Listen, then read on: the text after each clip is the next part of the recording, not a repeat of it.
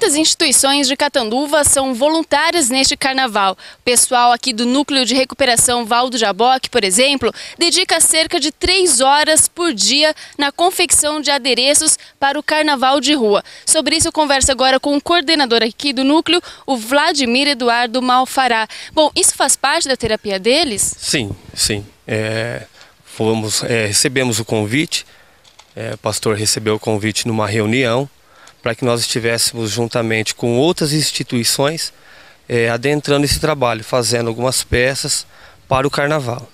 Isso ajuda bastante aqui durante o tratamento. Sim, sim, é muito eficiente, né? Porque o nosso trabalho ele é laborativo, né? Ele inclui tanto a parte espiritual, que é a parte de culto, louvor, e a parte de trabalho terapêutico. E isso veio se encaixar bem no tratamento que é feito com manual e tal.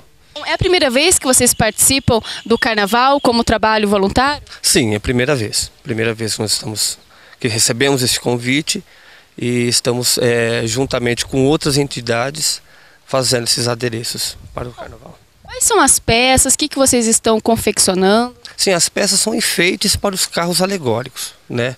É, peças separadas né, para que venham enfeitar tanto a passarela, a arquibancada, como também os carros alegóricos. O pessoal faz, daí um tempo leva para a prefeitura e volta mais serviço aqui para eles? Sim, é, eles trazem uma cota né, de 300, 400 peças para nós fazermos.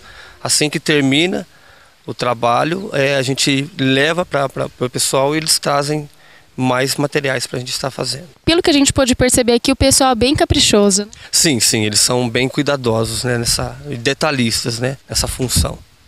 Vladimir, muito obrigada pela sua entrevista. Natália Ziviani, TV Prefeitura, Carnaval 2010.